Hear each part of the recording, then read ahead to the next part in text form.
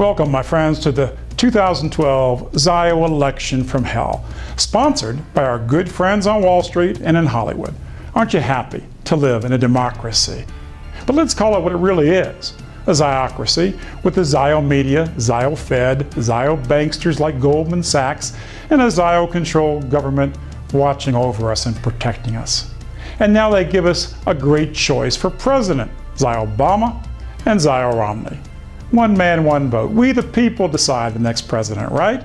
Zio casino magnate Sheldon Adelson pledges $100 million to Romney, and the Washington Post blatantly states that Zio money dominates both the Republican and Democratic Party. How unselfish of the Zionists to pay for our political campaigns. It's great to be programmed by the Zio campaign advertising, and thank goodness the Zio media tells us that the president's most important job is to send your money to Israel and to give trillions of dollars to the Zio banksters. The most important job of the president is to bankrupt our nation and spend our young men's blood and brains in the Zio wars. Long live the Ziocracy. You should really thank Zionist Adelson. You don't need to contribute your measly $100 to a campaign. $100 Let's see, that's a million times less than Sheldon's $100 million. Aren't you proud to know that you have as much say in the election for president as your pet gerbil? And let's thank Obama's biggest historic contributor, George Ziosaurus. In the last election, Obama's biggest contributor corporately was none other than that true human rights bank, Goldman Sachs.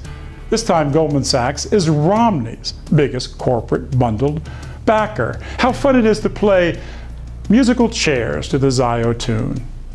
Thanks to the Zionist bankers on Wall Street, they're so civic minded that they're willing to finance our elections, only though as a public service, we understand. Obama's been so controlled by the Zionists from his Harvard days that the Zio Chicago Tribune headlined him as, quote, the first Jewish president. Zionist political hitman David Axelrod, and veteran of the Israeli army, not the American army, Rahm Emanuel, were Obama's handlers. But don't worry, the Zio devoted Romney, he's got the same guiding, caring people showing him the way. Besides, it's so great that a few hundred million in Zio campaign funds gets Israel billions of our dollars. Wow, that's good business, and what a deal for America.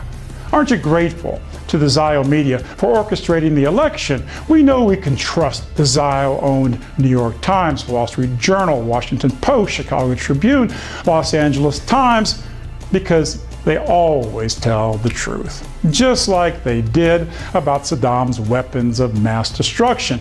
And now these Ziomites have their Zio sights on Iran. The Zio tribalists Wolf Blitzer and Jon Stewart are unbiased observers, right? But oy vey, it's hard work running the media, and the Zio conglomerates entertain us so well with intellectually and morally wonderful programs like the Kardashians. So, of course, we can trust the Zio media to help us make a really good decision in this election because that's what Zionism is all about helping people. Did you know that millions of Zionists moved all the way to Palestine to help Palestinians build better lives? They've taught the Palestinians to make the desert bloom by introducing new agricultural techniques. The Zionists have renovated Palestinian neighborhoods. They've built the world's largest gated community in Gaza. They've helped the Palestinians create a bustling hospital industry. They even babysit for thousands of Palestinian children.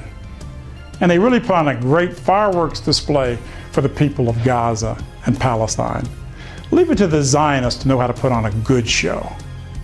So I just can't wait for election night. The Zio media and Zio establishment have made sure that annoying third party candidates can't come in and spoil the fun by exposing the endless wars for Israel and the bailouts for the Zio banks and daring to defend that pesky Constitution. How dare the Constitution get in the way of drone attacks and torture and undeclared wars. If anyone really cares about the Bill of Rights, where are they? So thank you, Sheldon Adelson and George Soros and that torture advocate Alan Dershowitz. And thank you, Goldman Sachs, for finding us two such nice candidates like Obama and Romney. The best candidates money can buy. And thanks for the endless wars driven by Zionist globalism. Thanks for the 400,000 brain damaged young Americans. And thanks for the economic bankruptcy. What a small price to pay to live in a wonderful Ziocracy. Remember, folks, what's good for Israel and what's good for the Zio banksters is good for America. At least that's what the former AIPAC lobbyist and now unbiased newsman Wolf Blitzer tells us, and he'd never lie to us, right? Have no fear. Blitzer and his fellow tribal supremacists will pick you a great president figurehead for our wonderful Ziocracy.